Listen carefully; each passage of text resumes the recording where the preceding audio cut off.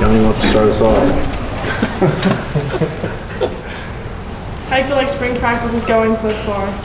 Um, I feel like it's going good. We're definitely a lot more organized this year, uh, just because you know we're on our you know, on campus here and we're um, got, a, got, a, got a system going for what we want to do this year, and um, it's definitely going a lot smoother, uh, just because everybody knows what's going on and where to be and what to do. So I think it's gone a lot smoother. You fit into that category as well? Oh yeah, definitely coming in my first spring. You know, I was fresh out of high school, was running around, um, pretty much not having any idea what was going on. So um, I definitely have a better grip on you know what I'm doing schematically. Um, you know, just a lot more experience. So it's been it's been better for me as well. You mentioned in December that last spring it was kind of the, well, maybe I'm not as good as I thought it was Right. moment. What, what are you thinking in year two?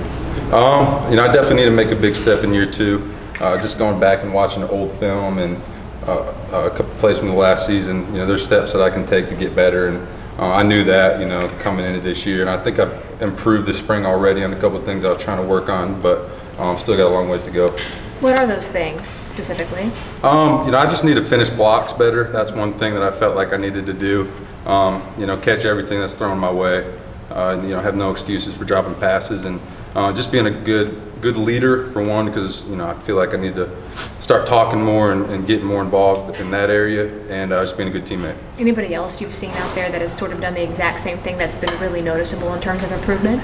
Yeah, um, I mean, I think our tight end group as a whole, um, they've taken a big step forward. Um, you know, Jeb still being a great leader, Jackson, Jordan, all those guys who have a lot of experience. Um, and then, you know, Charlie coming along with me, with us being the young guys. Um, we've made a big step as a tight end group. And then, um, you know, the quarterbacks, those guys made a big step. And um, pretty much everybody as a whole, I would say, is um, just working through it, having a lot more experience has been good for us. Kirby was talking about last week how the offensive line, and I guess you're a part of this too. You know, you guys are kind of winning the battle up front.